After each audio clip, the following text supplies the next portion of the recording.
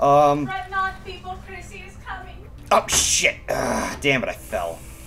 But no, um, something that I always look for whenever it comes to arcade games, there has to be either Galaga or Pac-Man.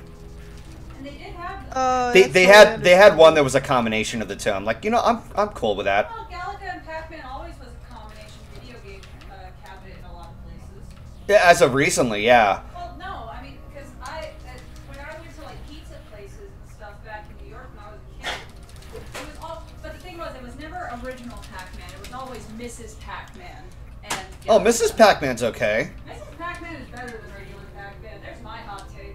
I don't see the difference between the two of you. You're just Well, controlling a character collecting dots. better controls. Like if you're talking about the old-fashioned Yeah. video game cabinet, Mrs. Pac-Man Many people will argue more that there is a difference. Uh, Well, here's the thing about Mrs. Pac-Man. It was an unlicensed clone game by a bunch. Galaga cabinet that Galaga cabinet, Galaga game that was at the Vegas arcade. Ah! Gotcha. Oh shit! Did you have a? ca- That's funny you say that, magical.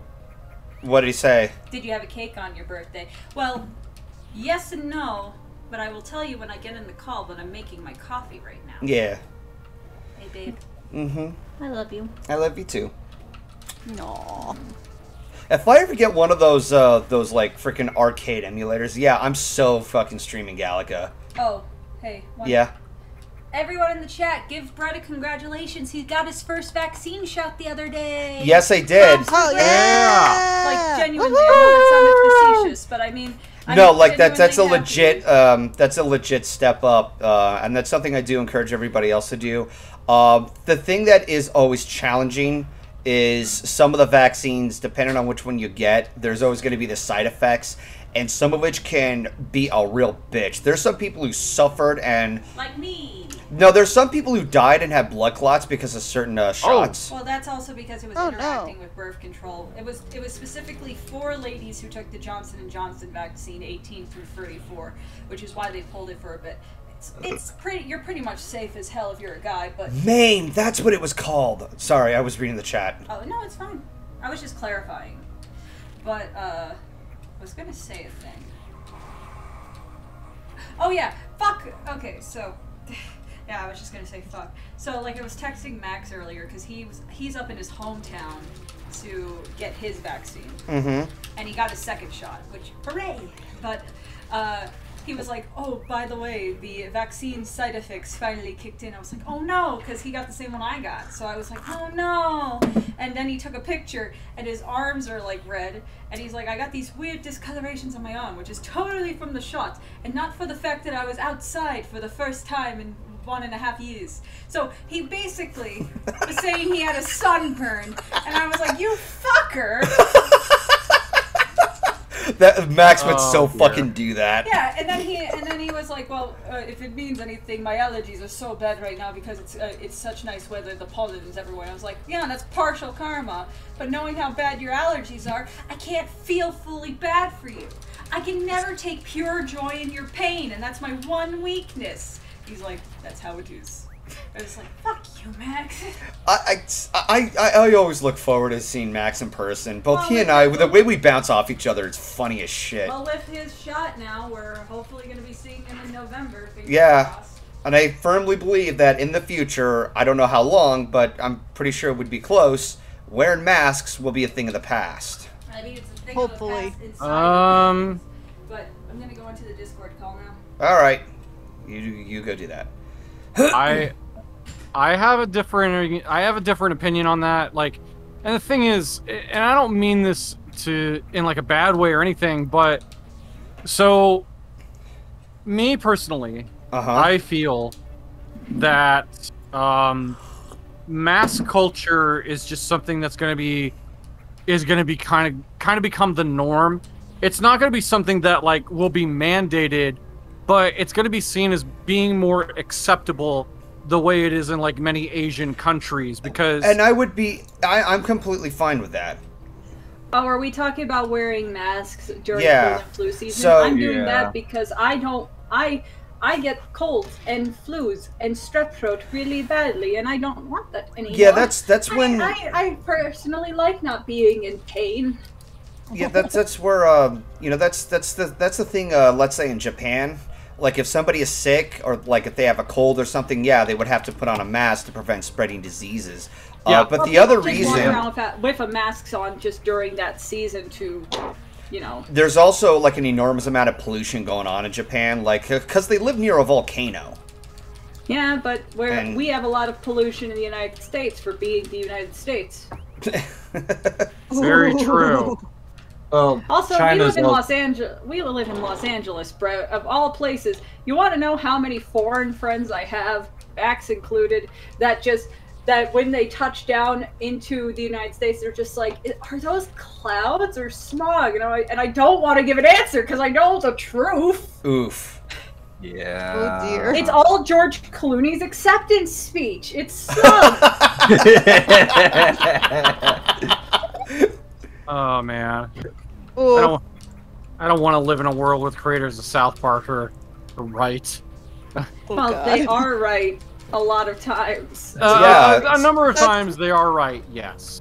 Yeah, I, I'm talking. yeah. Yeah, I, but I mean, right in the means of being prophetic. It's kind of like The Simpsons being prophetic. You know? Except The Right. Simpsons became kind of dated after a while. That no, no. Well, the thing is, is that when you look at a lot of like uh, old Simpsons clips, and then you look at it now, it's it has this weird feeling like they told the future. right? Yeah. But also that a lot of those, a lot of them are like, particularly the celebrity ones, are just kind of like, wait, were they trying to tell us something? and now we just know, like, there's a Family Guy clip where uh, Stewie is like running naked through the mall, and he's like, "Help! Help! I just escaped Kevin Spacey's basement!" And it's like, oh, they were Oh, Oh my God. they were trying to tell us something. Oh no! Oh my God. god! Oof! This is what happens when you have me on stream. Sorry. Oh my god! No, don't be sorry. Um, Jesus Christ! Kevin. Don't worry, I will. I will be quiet now and paint my nails like a good little Chrissy. no, no, no, you it's don't, your you don't have to be quiet. But uh, something I'll mention, um, since you're in the call now, is that so you were mentioning the the the round one. Uh, I was trying to think of the name. Yeah. Um, there's a place here in our neck of the woods that I've yet to go to, and I hope it's still around because I had found out about it uh, before the troubles happened. oh no, the panorama. But uh, but uh, I, I think it is probably still around. Like there's uh, considering like you know Ellie and I went axe throwing earlier today, so I'm sure it's still around. But um um there is a bar and arcade literally called the Double Dragon here where oh, we I've live. Been there. How I've would been they? there. How would the owner have the rights to name it like that? Well, be, okay. Well, the thing is, Brett, trademarks are uh, when you trademark a title or something, you trademark it under certain connotations, like video game and media. So you could trademark Double Dragon for a restaurant or brick and mortar location, and mm-hmm. it's not the same trademark as a as the video game's name. All right, I'll give you that. Hmm. Yeah. Although, kind of kind of a funny aside, the the rights to the Double Fr- Dragon franchise are so screwed up. like nobody That knows is, who. that is also very true. Oh, Charky, Yes. have you guys been to Holiday World yet since living in Indiana? No, we have not. I mean, granted, you know, I know we've had plenty of opportunity before the troubles happened, but uh, I, I, I guess we just haven't had the, the big like motivation to go yet. Although It's such a it's such a nice little day trip though. Like I It- I hate it. I hate Indiana. The only things I like in Indiana are you guys and Holiday World. I mean, and the funny thing is, we wanted to go to roller coasters last year uh, for our first wedding anniversary, but that didn't happen. Um, but we were wanting to go to Cedar Point in Sandusky, Ohio, which oh, Cedar Point's nice. oh god, yeah, that makes Disneyland, that makes Disney World look like a freaking bike ride. It just like Fuck, dude. I think it's owned by the same general company that owns Six Flags. So they Ugh. so you know that they are going to have some epic epic rides. Mm, Oh damn. So I think Kings Island is also owned by the same people who have I, I think Cedar so, yeah. But uh, but yeah, Oh, the so Double Dragon. maybe I've. Oh god, the Double Dragon movie was complete dog shit. the thing is, I kind of like that movie for how stupid it is. I like it for the same reason I like the Mario Brothers movie when you think of the context of, well, how much did they really have to work with? Yeah. But In all ne- fair- ne- none of them can compare to the fucking uh, Street Fighter movie with Raul Julia's. Uh, That movie was just so Bison. fucking stupid that it's just it's a film that you can just watch with your friends and laugh at. That and it's a masterpiece. Yeah. So, um, Yeah. but uh, I'm, I'm sorry, trying to were we talking about that or the Street Fighter animated movie?